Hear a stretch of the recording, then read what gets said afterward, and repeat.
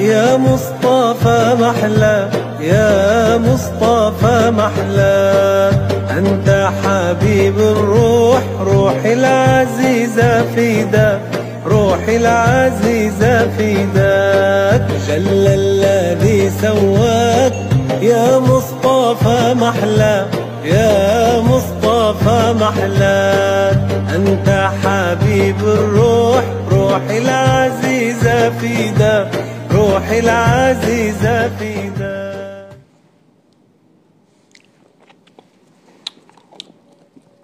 أعوذ بالله من الشيطان الرجيم بسم الله الرحمن الرحيم الحمد لله والصلاة والسلام على رسول الله وعلى آله وأصحابه ومواله أما بعد Muslimin muslimat yang berbahagia dengan izin Allah yakni min fadlihi uh, kita dapat sambung kajian kita yaitu kitab Tajul Arus.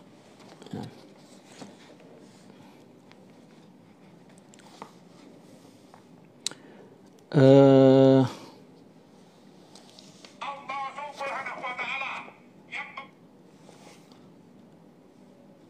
kitab Tajul Arus Al-Hawi li Tahdzibin Nufus. Karya Syekh Al-Imam Imam Ibn Atta'illah Isakandari.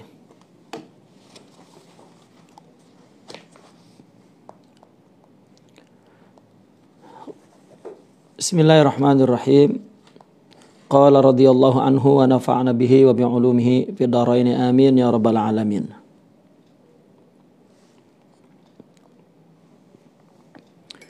Wa qala faman asmarat jawarihuhu Hmm. Nah, sudah. Al-Qalbul Hasan sudah. Alaika bil azkar ya. Bismillahirrahmanirrahim.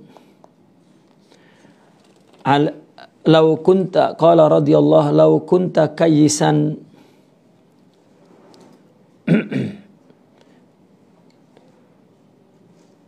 kalau nggak pakai anu itu bisa nggak pakai apa nggak pakai internet. Saya, wifi. Saya buka wifi aja loh. Nggak naik naik tuh.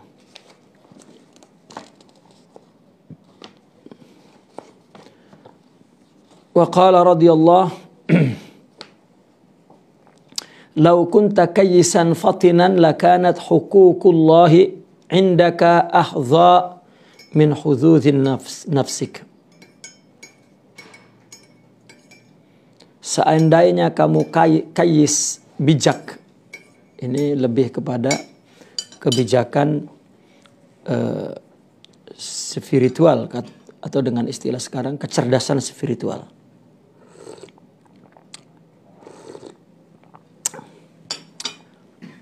Kebijakan spiritual dan kebijakan akal ya, maka hak-hak Allah menjadi lebih kamu sukai katakan begitu daripada uh, lebih mendapat bagian daripada bagian-bagian nafsu. Daripada haz-haz ya nafsu.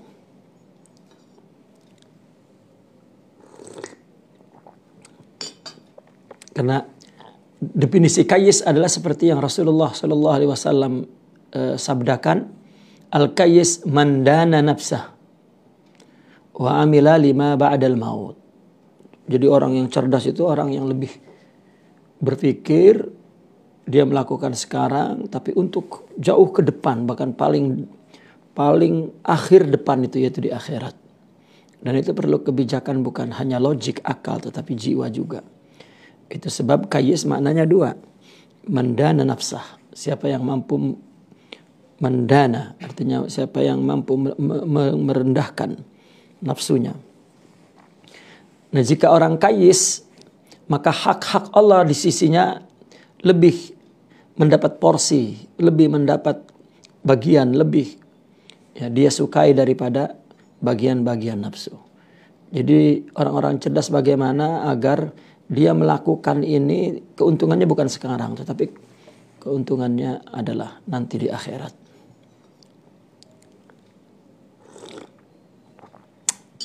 ما يطلع على الأسرار إلا أمين وأنت تعطي نفسك حظها من المآكل والمشارب حتى تملأ بيت الخلاء.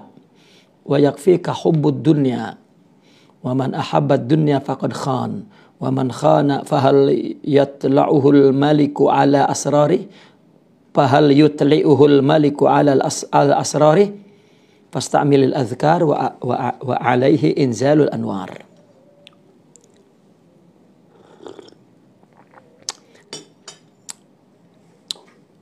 Tidak ada yang diperlihatkan kepada rahasia kecuali uh, boleh di sini ma yutala ma yutala'u alal asrar illa aminun. Tidak ada yang diperlihatkan ke rahasia melainkan orang yang amin. Kita untuk menyimpan rahasia tentu mencari orang yang paling kurang kita sendiri percaya kepadanya.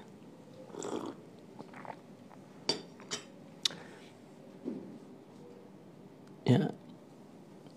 Jadi orang-orang yang dapat melihat rahasia atau diperlihatkan rahasia, ya sama aja.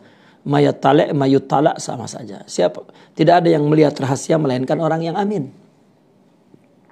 Orang amin lah yang melihat rahasia.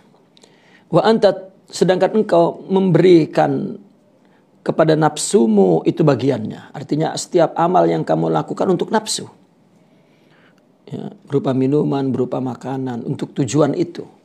Sehingga kamu memenuhi. Artinya bahwa nafsu itu bukanlah orang yang terpercaya.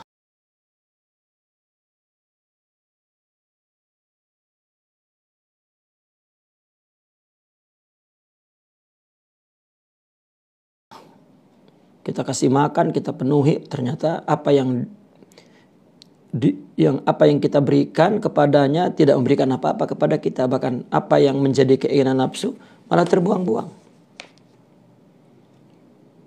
Maka cinta dunia ya itu cukup bagimu bahwa nafsu itu berkhianat. Bahwa nafsu itu bukan orang yang terpercaya. Karena barang siapa yang mencintai dunia maka dia telah berkhianat. Maka orang yang berkhianat tidak mungkin raja memperlihatkan kepadanya akan rahasianya. Katakan itulah kualitas nafsu yang Allah ciptakan. Maka apabila kita hidup mengikuti nafsu, ibadah untuk keperluan nafsu kita, maka Allah tidak akan memberikan rahasianya karena nafsu berkhianat. Maka pada saat itu bagaimana kita mengendalikannya fasta'milil azkar. Maka terus kita berzikir untuk menyibukkan nafsu. Kenapa ada zikir mujahadah, ada zikir riyadhah? Sebetulnya bukan zikir yang bekerja. Zikir itu yang diucapkan oleh lidah itu bukan suatu ingat yang datang dari hati karena ingat dari hati itu timbul dari jiwa yang bersih. Jadi jiwa jiwa yang tumbuh penuh akhlak baru ada naik zikir. Nah, adapun Ya, azkar azkar azkar azkar lafaz zikir yang kita gunakan itu adalah untuk melawan nafsu kita. Maka ke atas eh, dia orang itulah akan turun cahaya. Mana fa'al qalba syai'un mislu khalwatin yadkhulu fiha fi medani fikratin. Ini hikmah beliau ya dalam kitab Al-Hikam. Tidak ada sesuatu yang lebih bermanfaat kepada hati seperti khalwah. Ya. Kalau kita khalwah, maka itu sangat bermanfaat kepada hati. Karena khalwah itu akan membawa eh, apa eh, hati itu kepada medan fikrah. Kaifa yushriqu qalbu su, qalbun suwarul akwani muntabi'atun fi mir'ati. Bagaimana hati itu akan bercahaya. Rupa-rupa al alam semesta ini masih terkesan di dalam cerminan hati. Apa yang dilihat oleh mata yang haram terus mengotori hati. Apa yang didengar mengotori hati. Apa yang dipikirkan menghijabi hati. Apa yang dimakan haram juga. Jadi bagaimana hati akan melahirkan, menerbitkan cahayanya untuk menyibak semua hakikat. Ketika hati bercahaya meskipun mata melihat benda tapi dia melihat makhluk tapi dia melihat khaliq. Am kaifa yarhalu ilallahi wa huwa mukabbalun bisyahawati. Atau bagaimana dia dapat berjalan menuju kepada Allah sedangkan dia dibelenggu dengan syahwatnya. Am kaifa yatma'u an yadkhula hadratallahi wa huwa lam yutahhir. Lam yutahhar min janabati ghalab gafalati. Atau bagaimana dia mengingini apa? Uh, masuk kepada hadrah Allah. Artinya bagaimana hati itu menjadi uh, tempat uh, untuk menyaksikan Allah. Artinya men, men, terdapat nurnya itu. Sedangkan dia belum bersih dari junub gaflahnya. Artinya gaflah itu lawan daripada zikir. Nah, zikir hati itu muncul dari sifat-sifat rohani. Ketika tidak ada sifat rohani maka gaplah. Jadi masih junub, masih kotor. Am kaifa yufhamu daqaiqul asrar wa huwa lam yatub min hafawati. Ya. Atau bagaimana dia memahami rahasia yang halus, yang detil gitu. Sedangkan dia belum tobat dari berbagai hafawat kesalahannya kesalahan yang eh, artinya dia terjebak tersandung ya, atau kemalangan-kemalangan dalam melakukan eh, dosa. Bagaimana itu dia dapat masuk ke hadirat Allah? Aslu kulli ma'siyatin wa ghaflatin wa syahwatin ar-ridha an nafs pangkal asal dasar ya, sumber segala maksiat, segala kelalaian, segala syahwat, dia menyerah dengan nafsunya tuh. Dia pasrah, ikut saja, ridho. Wa aslu kulli ta'atin wa yaqzatin wa ifatin adamur ridha'an nafs. Sedangkan asal segala taat, yaqzah dan ifah dia tidak mudah menyerah dan terus melawan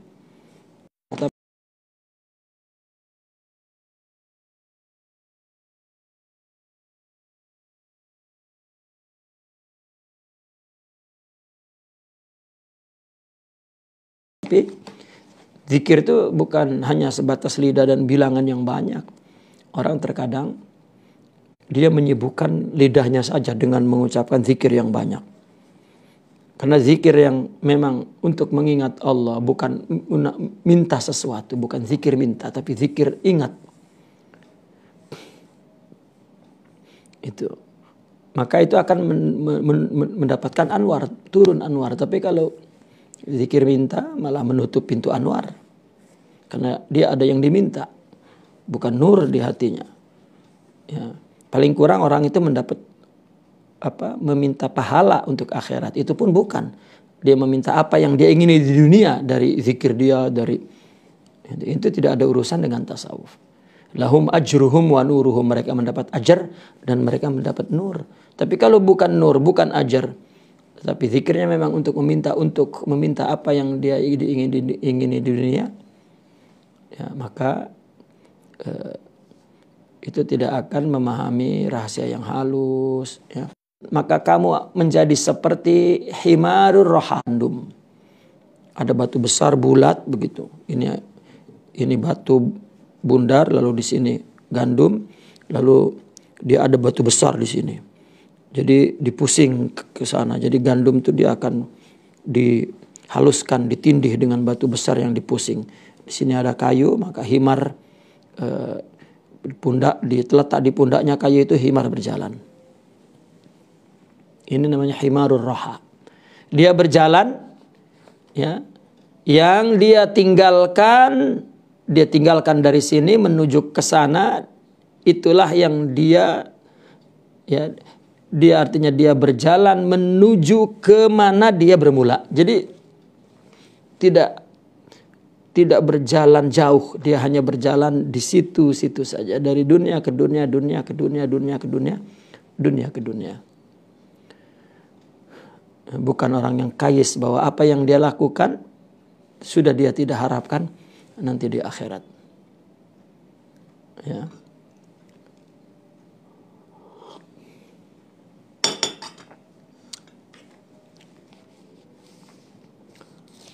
Walakin irhal minal akwan ilal mukawin. Tetapi pergilah dari alam kepada yang menciptakan alam. Artinya segala sesuatu untuk Allah. Ya. Segala sesuatu untuk Allah wa anna ila rabbikal muntaha dan kepada Tuhan mula berakhir. Innamal anwaru matayal qulubi wal absar. Nah, cahaya itulah kendaraan hati dan mata batin. Wal asrar dan rahasia. Ya. Rahasia, cahaya itu matayal qulub. Kita dekat kepada Allah itu dengan sifat-sifat akhlak itu. Jadi dia umpama cahaya, umpama kendaraan. Jika kita punya sifat banyak, maka kendaraan kita makin sempurna, makin laju, makin cepat, makin. Wan nuru jundul qalb kama anna zulmata jundun nafas. Kata-kata jundu ini artinya bukan satu pasukan bala tentara. Ya. Maka nur itu sarana bagi hati sebagaimana kegelapan itu sarana bagi nafsu. Fa idza aradallahu ayyu azza atau an yuns an yunsara jika Allah ingin memenangkan hambanya maka Allah ulurkan bijunudil anwar maka Allah turunkan Allah ulurkan tentara-tentara cahaya artinya kalau Allah ingin membuat dia menang maka Allah kasih akhlak-akhlak mulia Seorang sabar, syukur, ridho, maka dengan sifat-sifat itu dia mampu mengendalikan apa pun. melawan nafsu, melawan syaitan, melawan dunia, melawan ya, itu cahaya itu. Ya. Al-imanu nurun, al-ilmu nurun, as-sabru nurun, al-haya'u nurun, semua itu. Wa qata'a anhu madada zulmati wal aghyar dan dia akan melintasi ya Eh, sumber-sumber kegelapan dan akhyar. Di mana selama ini ya, kita berbuat sesuatu itu motifnya adalah zulmah ini. Ya kegelapan itu atau akhyar selain Allah. Itu sebab sesat dan bukan menang malah kalah dan jatuh. An-nuru lahul kashf. Cahaya cahaya itu kan punya penyingkapan. Buktinya kalau kita dalam kegelapan kita perlu cahaya tuh untuk menyingkap, untuk melihat yang tidak dilihat dalam kegelapan. Wal basiratu lahal hukum dan mata batin itu punya punya punya apa punya ketetapan, punya uh, uh, uh, uh, punya ketetapan hukum. Begitu misalnya uh, ada cahaya, maka uh, kalau ini mata mata kepala nih, ini gelap, kita buka cahaya, maka mata itu ya punya punya ketetapan bahwa ini adalah anu, ini adalah itu. Wal qalbu lahul iqbal wal idbar. Ya, dan hati memang selalu berbolak-balik. Nanti menghadap, nanti membelakangi, nanti menghadap, nanti membelakangi, nanti menghadap. Wal akwan zahiruha ghirrah. Sedangkan alam zahirnya itu tipuan wa batinuha ibrah dan batinnya adalah pelajaran. Banyak orang tertipu zahirnya bila ternyata dia e, mengalami kejatuhan, mengalami kebengkrapan, mengalami e, tidak artinya mendapatkan keti, e, kebahagiaan apa-apa dari dunia baru dia mengambil pelajaran. Fan nafsu tanzuru ila zahiri ghirratiha. Nafsu melihat kepada zahir tipuannya wal qalbu yang zuru ila batini ibratiha dan hatilah yang melihat kepada batin pelajarannya. Nah itulah akhlak-akhlak itu punya penyingkapan. Sabar itu bukan hanya dia menunggu, tetapi sabar itu dapat ya satu sifat, satu cahaya dalam batin. Jika dia punya maka sabar itu kenapa dia dapat menunggu? Karena dia melihat bahwa uh, ini akan sebentar aja dan ini akan melahirkan satu anugerah di belakang musibah ini anugerah. Itu sabar mampu mel, me, me, men, menoleh, men, men, nampak, menengok, ya, melihat di belakang itu. Jadi ada nur, ada ada ada penyingkapan gitu. Orang mengira jangan sabar-sabar aja karena dia tidak mengerti sabar itu apa, ridho itu apa. Ya. Tunggu sekejap saja. Berapa banyak dalam kehidupan kita merasa kita terhimpit, merasa kita ingin keluar dari situ. Kalau kita kemudian pasrah dan kita bersabar, mem mempunyai sifat sabar, mempunyai ternyata semua kita tidak tahu bagaimana kita dapat melepasi, ya, melewati kesulitan-kesulitan musibah-musibah itu. Ya. Kita banyak dalam kehidupan ya, berbagai kesulitan berbagai musibah. Dengan kita tidak punya sabar tapi kita dapat melewatinya. Ya, karena memang hidup ini terus berganti, berganti, berganti. Tidak ada yang kekal di situ. Gitu. Apalagi memiliki sabar, dia melihat apa yang dibalik semua itu. Termasuk pahala yang akan Allah berikan. Termasuk bangunan rohani yang semakin kuat. Mata awhashaka min khalqih fa'lam annahu yuridu an yaftahalaka babal unus bihi Allah. Ketika Allah membuat kamu rasa tidak suka kepada makhluk. Ketahuilah bahwa berarti Allah mengingini. Allah ingin membukakan untukmu pintu unus. Ketentraman dengan Allah. Ya. Jadi ketika makin banyak orang diliputi manusia. Nah ini makin banyak eh, hal-hal yang membuat kita bergantung, ta'aluk, terhalang dan berbenturan dengan uh, dengan ahwa ya, dengan uh, keinginan manusia. Tetapi apabila kita dibuat oleh Allah merasa tidak iktimat kepada orang, melakukan sesuatu bukan untuk orang, ya, tapi murni lurus tegak untuk Allah saja, ya, sehingga kita tidak merasa bahwa kita unus, nyaman, ya, mesra. Begitu artinya bersifat bergantung kepada Allah, maka berarti Allah menginginkan kita bersama Allah unus. As-salatu mahallul munaja wa ma'dinul musafah. Yattasi'u fiha medanul asrar wa, tash, wa tushriku fiha syawarikul anwar. Salat sebetulnya itu adalah satu ruang untuk bermunajat kepada Allah. Dan salat itu sendiri satu satu quality, satu per, perkara katakan ya uh, untuk menjernihkan ya untuk melapangkan menjernihkan di mana di dalam salat itu ada ada ada medan ada dataran rahasia artinya ada ruang ada ada ada ada rahasia yang akan uh, kita terima.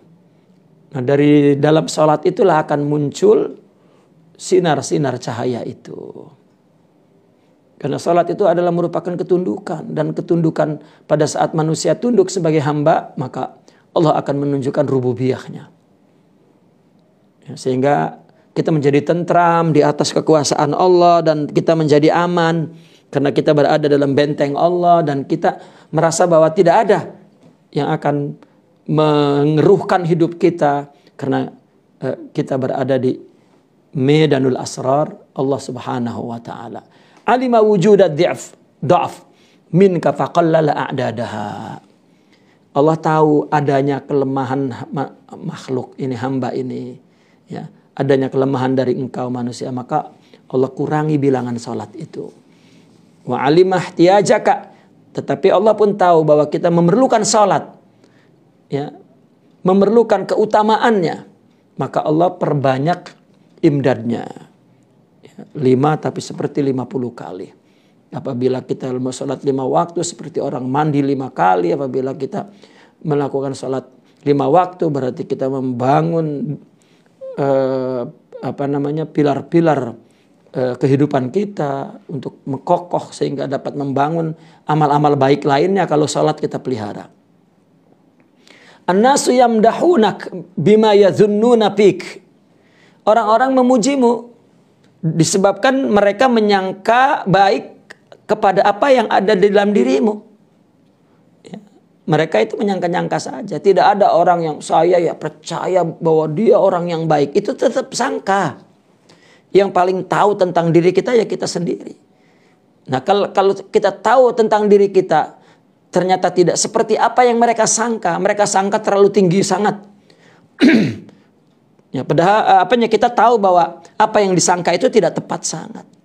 Maka hendaklah fakun anta zaman li nafsik. Maka jadilah kamu orang yang mencela dirimu sendiri. Lima ta'lamu minha karena kamu tahu dirimu di nafs itu. Fa inna ajhalan nasi man taraka yaqina ma indahu li dhanni ma indan nas. Sesungguhnya orang yang paling bodoh adalah orang yang meninggalkan keyakinan akan apa yang ada padanya dia tinggalkan. Untuk apa? Untuk duga atau sangka apa yang ada pada orang. Ya. Orang nyangka dia baik, tiba-tiba dia merasa terobsesi, dia jadi merasa wah dia baik. Jadi sangkaan orang. Padahal dia sendiri tahu kalau dia tidak baik. Ya, ini adalah orang paling bodoh. Ya. Maka saya teringat perkataan Imam Ibn Arabi itu. Anda jangan bangga jika ada orang memuliakanmu, mem, ya, menghormatimu. Kalau dia dari orang yang tidak punya kemuliaan, tidak punya, berarti dia ada maslahat untuk dirinya. Gitu. Itu sebab jangan uh, jangan aneh ketika ada orang memuji-muji apa. Ya, hanya orang-orang yang punya yang dapat memberi, hanya orang-orang yang mulia yang dapat memuliakan. Hanya orang-orang yang punya kehormatan dalam dirinya yang dapat menghormati. Hanya orang-orang yang punya cahaya yang menyingkap, ya, yang dapat menerangi eh, eh, cahaya ya kepada kita. Nah, oleh karena itu eh, hendaklah kita melihat pada diri kita yang tahu ya, sebenarnya apa yang ada pada diri kita. Ghib an nazril khalqi ilaik binazrillahi ilaik ya maka gaiblah dari pandangan orang kepadamu dengan pandangan Allah kepadamu ya karena kita merasa bahwa Allah memandang kualiti kita, hati kita, kekhusyuan kita, keikhlasan kita, kesabaran kita, maka kita sudah tidak lagi berpikir bagaimana orang memandang kita. Wa ghib an suhudi ikbalihim alaik bi syuhudi ikbalihi alaik. Ya, dan juga gaibkan. Bu artinya hilangkan ya, dari apa persaksian orang-orang yang menghadap kepadamu dengan persaksian Allah menghadap kepada kita. Orang nak suka, nak datang kepada kita, nak menyokong kita, nak mendukung kita, ya, nak menjadi orang-orang yang menjadi sahabat kita, yang menyokong kita, ya. Cukup Allah yang senantiasa menghadap kepada kita ya, untuk kita tidak perlu kepada mereka. Artinya bahwa kita melakukan apa pun kepada mereka kebaikan itu hanya untuk Allah bukan bukan untuk mereka agar menghadap kepada kita agar mereka menyukai menghormati tidak. Alima annal ibada yatashawwaquna ila zuhuri siril ala al inayah Faqala ta'ala yakhtassu bi rahmatihi may yasha. Allah mengetahui bahwasanya ibad hamba-hamba ini rindu, suka, ingin kepada apa? Kepada zuhurnya, datangnya, munculnya ya, rahasia inayah. Sirul inayah, inayah Allah. Perlindungan Allah. Ya. Agar kita selamat. Maka Allah berfirman, dia telah mengkhususkan rahmatnya kepada yang dia kehendaki. Ya. Wa alima annahu annahu law khallahum min dzalik la tarakul amala i'timadan 'alal azal. Faqala inna rahmatallahi qaraibun minal muhsinin. Dan Allah tahu jika mereka khallahum artinya uh, disunyikan mereka dari semua itu. Artinya mereka tidak mendapatkan sirul inayah. Misalnya mereka akan meninggalkan amal bergantung kepada azal. Ya, kepada datangnya azal. Ya, adalah Ya. Sampai kalau Allah enggak memberikan pertolongan agar saya dapat melakukan kebaikan kan iya karena abud wa iya karena hanya kepada engkau kami ibadah dan hanya kepada engkau juga kami minta tolong agar kami dapat taufik, mendapat hidayah, mendapat khusu, mendapat sabar, mendapat ikhlas. Itu kena inayah semua itu. Begitu. Kalau tak kalau tidak ada itu, maka orang mungkin akan meninggalkan amal bergantung kepada azal. Ya, tetapi Allah mengatakan rahmat Allah dekat dengan orang-orang yang muhsin. Hendaklah kita muhsin. In aradta urudal mawahib alaika fasahihil faqra wal faqata ladaika Allah. Jika engkau ingin datangnya berbagai mauhibah, Allah kasih futuhat, Allah kasih ma'arif, Allah kasih syuhud, Allah kasih wusul, Allah kasih fuhum, Allah kasih kasyaf dan lain sebagainya. Ya, jika engkau ingin diberilah oleh Allah begitu, maka perbaiki kepakaranmu, kepapaanmu. Apakah betul engkau perlu Allah? Apakah betul engkau tidak bergantung kepada apa pun, tidak mengingini datangnya sesuatu dari selain Allah apa pun, murni, ya. Dia memang perlu kepada Allah. Karena kalau orang perlu itulah yang mendapat pemberian. Sebagaimana hukum syariat innamas sadaqatu lil fuqara wal masakin. Bahwasanya sedekah itu diberikan kepada yang fuqara wa masakin. Kenapa orang tidak diberikan syuhud, tidak diberikan ma'rifat, tidak diberikan kasyaf. Kasyaf ini ada untuk memahami hakikat yang gaib itu. Karena mereka merasa cukup dengan ilmunya yang sedikit, merasa cukup dengan kepintarannya, merasa cukup dengan ibadahnya, ya, merasa cukup dengan keturunannya, merasa cukup dengan kecapa pencapaiannya dalam dunia. Tidak ada fakir kepada Allah, bahkan dia merasa bahwa ini milik dia. Ya, para para aulia itu semakin diberi semakin merasa fakir karena pemberian itu bukan punya dia, bukan milik dia, bukan dia yang menciptakan. Ya. Maka makin merasa fakir. Gitu. Anu anwaru azinalaha dukhul. Anwarun azinalaha fid dukhul wa anwarun uzinalaha fil wusul. Rubama waradat alaikal anwar fawajadatil qalba mahsyuwan biswaril athar fartahalat min haitsu nazalat. Ada cahaya yang diizinkan untuk masuk, ada cahaya yang diizinkan untuk wusul. Jadi cahaya-cahaya dia masuk. Ada cahaya-cahaya sampai. Apa masuk dan sampai? Artinya ada cahaya yang datang berupa sifat-sifat mulia masuk ke hati. Ya. Maka ada lagi cahaya-cahaya yang terus usul kepada Allah. Ya, dia kasyaf, dia betul-betul dapat suhud menyaksikan Allah. Semuanya cahaya. Ya, boleh jadi cahaya itu datang kepadamu. Lalu kemudian cahaya itu mendapatkan hati itu penuh dengan kesan-kesan asar dunia ini. Ya, mata melihat yang haram maka kotor. Semua mengotori hati. Begitu Anwar masuk, ya, karena di dalamnya masih penuh dengan yang lain, maka cahaya itu pergi ke tempat asalnya. Itu. Sehingga saya membayangkan ketika memahami perkara ini, sebagaimana para aulia memahami hakikat itu, seolah-olah kita sholat cahaya datang. Karena Allah kan maha pemurah, maha pemberi. Ketika orang melakukan ketaatan ibadah, Allah sudah memberikan pahalanya itu. Niat saja sudah diberi pahala. Dan bukan bukan hanya pahala lahum ajruhum wa nur. Dan nur, nur ini adalah tadi sifat-sifat mulia untuk hati, untuk membangun surga di dalam batinnya. Agar sebelum apa? Sebelum jasad ini menikmati surga nanti di akhirat. Gitu, surga zakharib. Ya. Maka datang cahaya itu tetapi rupanya apa ibadah yang dilakukannya, zikir yang dilakukannya tetapi hatinya masih penuh dengan hubud dunia, masih penuh dengan kesan-kesan maksiat yang tidak ditobati maka tidak jadi.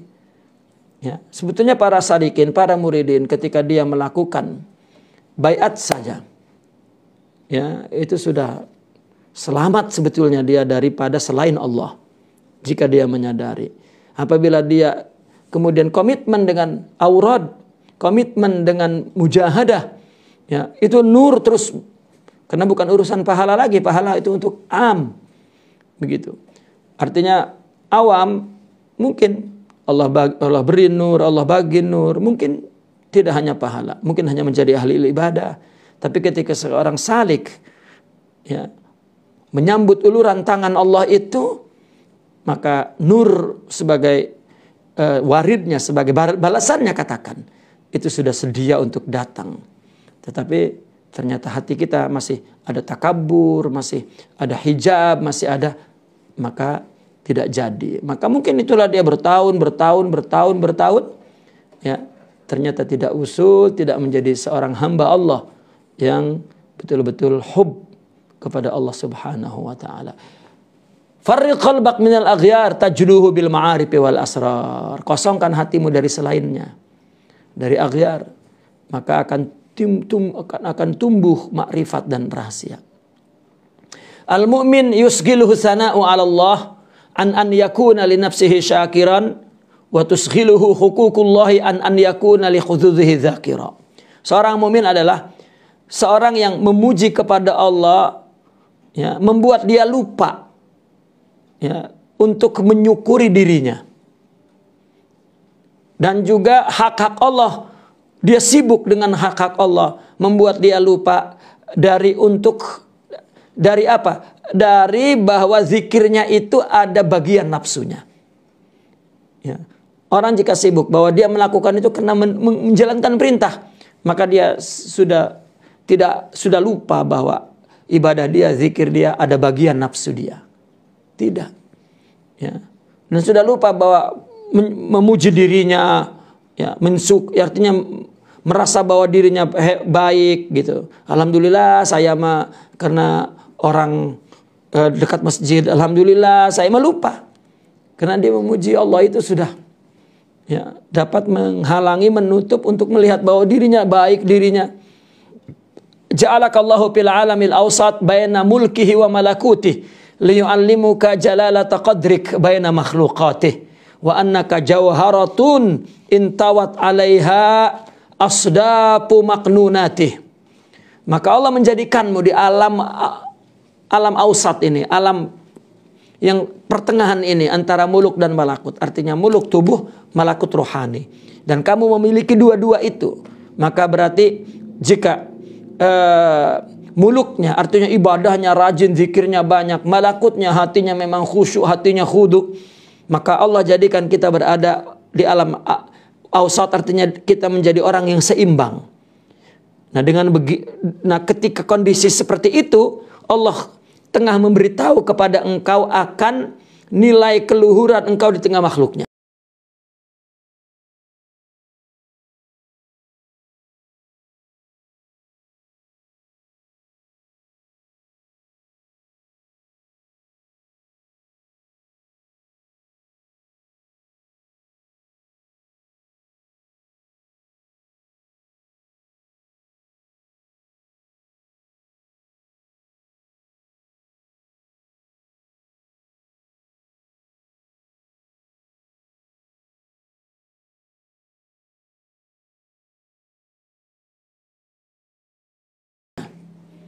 Kamu akan melihat ada orang tersesat dengan muluknya. Ya, mungkin orang tidak ibadah, mungkin orang maksiat, atau mungkin orang ibadah tapi ternyata dia hanya mengingini dunia, hanya mengingini kedudukan, hanya mengingini. Engkau akan melihat itu. Ya, sebaliknya ada orang yang apa uh, uh, uh, sibuk dengan malakut. Ya, ternyata kesibukannya itu adalah tipuan nafsu wa annaka jauharatun maka pada saat itu engkau adalah jauharah. Apa jauharah itu? Mutiara ya. Yang uh, tersimpan di dalam uh, ketam ya. Uh, ketam uh, is isinya itu tersimpan di dalam ketamnya. Gitu. Artinya engkau adalah menjadi mutiara yang terpelihara di sisi Allah di tengah-tengah manusia itu. Antama al akwan malam tashadil mukawin. Maka engkau sebaris bersama dengan alam yang lain. Jika engkau tidak menyaksikan Allah penciptanya. Fa'idha syahidtahu kanat al-akwanu ma'ak. Artinya engkau kalah dengan alam semesta. Engkau tunduk dengan alam semesta. Engkau sedih oleh alam semesta. Engkau kecewa oleh alam semesta. Engkau ya dan tidak menyaksikan bahwa Allah yang selain Allah tidak dapat berbuat apa-apa. Ya, tetapi jika engkau menyaksikan, engkau akan menyaksikan bahwa alam itu bersamamu. Ya, bahwa alam itulah yang tunduk kepadamu, alam itu yang akan ya me, me, me, apa, membesar, artinya yang akan e, berbaris ya bersamamu tunduk kepadamu. Ya. Demikianlah muslimin dan muslimat pembacaan kitab e, Tajul Arus pada malam ini insya Allah bila-bila masa jika ada waktu luang kita akan sambung kajian kita ini. Naqifuna walhamdulillah al-Fatihah.